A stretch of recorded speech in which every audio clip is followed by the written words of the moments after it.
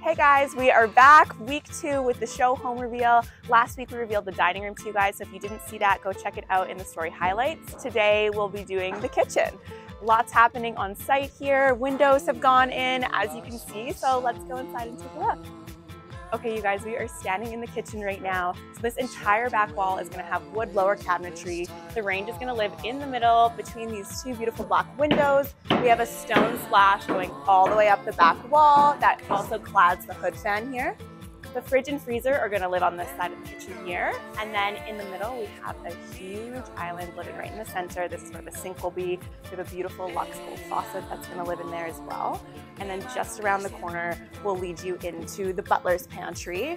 We're doing an amazing groin vault in this space and beautiful wood cabinetry on either side. We're gonna have some cool sconces in here. It's gonna be really awesome. I cannot wait to show you the renders.